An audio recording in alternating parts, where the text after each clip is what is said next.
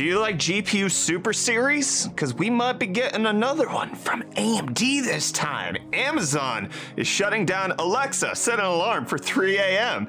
And we might be getting 12 channels of memory. Wow, my brain's not big enough to handle that. Let's get into the hot news, everybody. I'm your Brett host. We're going to be going over the hottest tech news that I can find on the internet while you enjoy your breakfast. So buckle up, get ready for your third breakfast, and let's go ahead and talk about a super series that might be in development from AMD. This is according to reports coming out of VideoCardz that the next generation of laptop GPUs from AMD at this current point look to be a little different than what we were expecting them. Currently, we actually even haven't gotten the full-fledged 6000 series of laptop GPUs out from them, but that's neither here nor there. AMD hasn't really excelled at laptop GPUs, but the indication is here that instead of getting slightly higher clock speeds on stuff or just a minor tweaking of names refresh, what actually could be happening is that there will be a 6000S refresh, which might stand for super, might stand for secondary, sequel, squawk, who knows what it's going to be called, but the key difference here is that it's going to be based on TSMC's 6 nanometer production as opposed to the current 7 nanometer production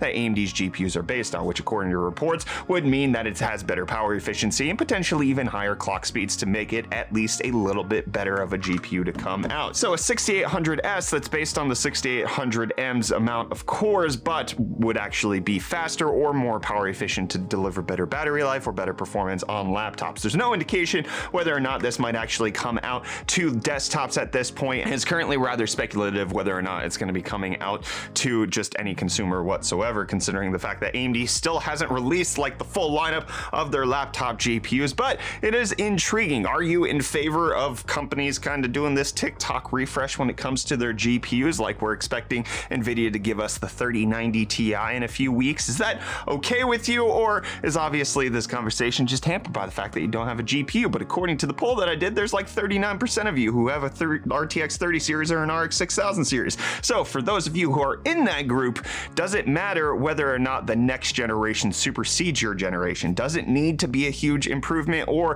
can it just be like a slight refresh? Do we have to have huge leaps in performance every year or can it come every two years? Let me know what you think of the upgrade cycle down below in the comments. But Microsoft wants to upgrade your experience with your video cards by making it so that the DX12 API now has H.264 and H.265 encoding, which can make it a lot easier for game developers out there because previously the way that it was done was they would have to figure out H.264 encoding depending on what GPU you have rather than doing it through the DirectX API. That it made it a little bit more cumbersome, but now that Microsoft is going to support that directly on the API, it should be a little easier for companies to program for this. And according to reports, AMD GPUs currently aren't supported. They're supposed to be getting support in Q2 of 2022, but in case you're running Intel or Nvidia, you're good as gold, which not sure this solves all of the problems, but obviously you have to wait till the middle of next year in case you're on Team Red. And if you're on Team Halo Infinite Steam Edition, you're not going to get cross save. There's currently a bug that's out there that if you have Halo Infinite, but you got it on Steam as opposed to the Xbox store, which has gotten better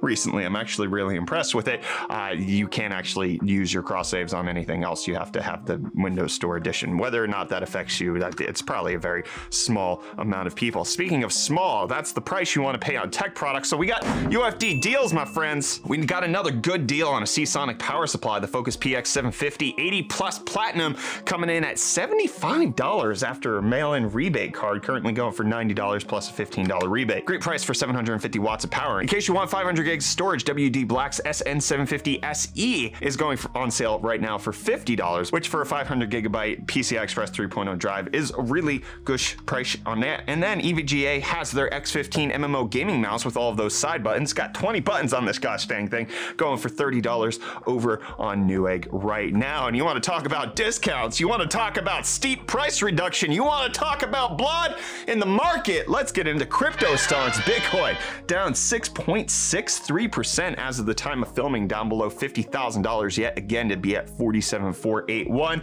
Ethereum also down 7.3% to sit at $4,098. Dogecoin also down 5.62% to be at 17 cents. But the meme stonks were not spared in this bloodbath. GameStop currently down 10.6% on the day, $155.19 is where it's currently sitting at. AMC likewise down roughly 10%, 9.3% to sit at just under $30. Ouchie wouchie, markets go bad.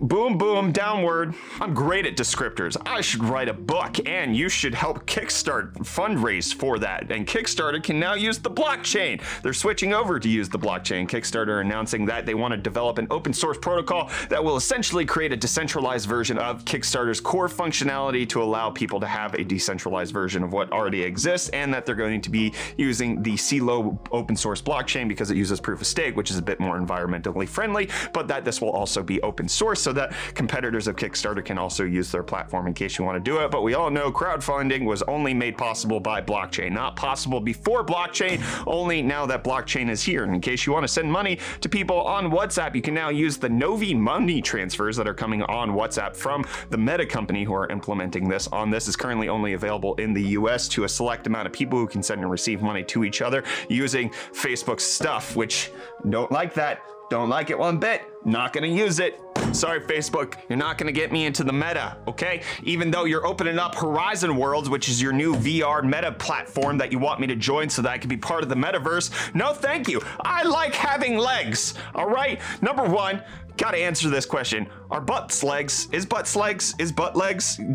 Are they? Is, is butt legs? I need to know the answer to that. But number two, I need my butt and my legs. What is this? What is this experience that they're now unveiling to everybody? This Facebook Horizon weird Roblox concept of not having gargantuan men with legs. Anyways, it's available to people in the US and Canada as of yesterday who are 18 and up and have an Oculus Quest so that you can participate in this new metaverse that is just essentially VR Roblox made by Facebook which again, after they've treated Web 2.0, why would you trust them with the metaverse? Why would anybody do this? I just don't fundamentally understand it. This is something that I've been trying to like wrestle with in trying to understand the concept of Web 3 and metaverse, and especially like Facebook's push towards metaverse. And it's just the social media, at least in my mind, came about because people who were tech savvy and also young people picked up on it really quickly. It intuitively made sense as a way to connect the world.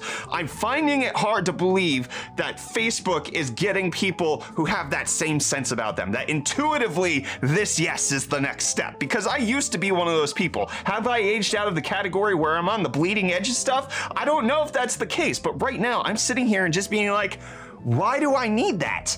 Like, that's not solving any problem I had. Facebook, when it launched, was a way to for me to keep connected with the people that I went to high school with as I was going off to college. Previous to that, you really either didn't have contact with them or there was that like stupid like classmates.com website that you had like high school and middle school reunions on well before that where you connected with people after the fact. But besides that, like it, it solved a legitimate aspect of society that I think people wanted but didn't know how to do before the technology technology came around. The metaverse just removes my butts and my legs, and I don't get it. I, I don't know what Facebook is bringing to the table. If you have an obvious explanation that I'm missing when it comes to especially Facebook. Like I understand that there are like implementations of web3 that are, are going to be intuitive. We just haven't gotten there yet. But like Horizon Worlds, what is there that makes people go, yes, this is the next step of what I need to connect with people or just fulfill my life? I just let me know down below in the comments while I let you know that Alexa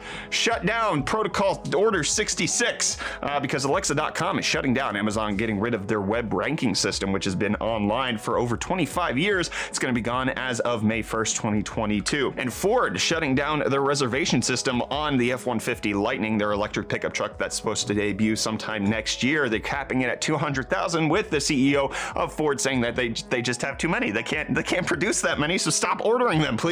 But in case you want to go to their competitors like the Chevy Silverado EV, that's not going to get starting to produce until early 2023, so you're not any better off there. So that sucks. You know what also sucks is if you're in an emergency situation, you pick up your smartphone and you dial, you know, 911, you call them, and then you find out, oh hey, I have Microsoft Teams on my phone, but I didn't inst I didn't log into it, and now it's saying that I can't actually call emergency services, which is an actual bug that exists. If you have Microsoft Teams on an Android phone, phone and you have not logged in to Microsoft Teams, it can cause an unintended interaction, which makes it so that you can't dial 911. You can't dial emergency services, which is just insane. Anything from Android 10 or later is a problem. Microsoft's supposed to be uh, implementing an update that can fix this as of January 4th, which is a long time to be without emergency services in case you need them. So, in case you're not using Microsoft Teams app, get rid of it off your Android phone. Do not put yourself in this situation, especially if it like accidentally logs you out somehow, or like Microsoft has to reset their keys, and then everybody's Android phone that they use Microsoft Teams for is